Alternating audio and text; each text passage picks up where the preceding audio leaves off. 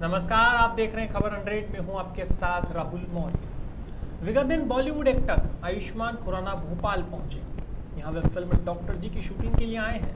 बता दें, जंगली पिक्चर्स के बैनर तले यह फ़िल्म बन रही है और इसे अनुभूति कश्यप डायरेक्ट कर रही है। वैसे इस फ़िल्म में आयुष्मान खुराना के अपोजिट एक्ट्रेस रकुलप्रीत भी नज़र आने वाली है। गौरतलब है कि लंबे वक्त से लॉकडाउन लगा हुआ था, जिसके चलते फ़िल्मों की शूटिंग रुकी हुई थी।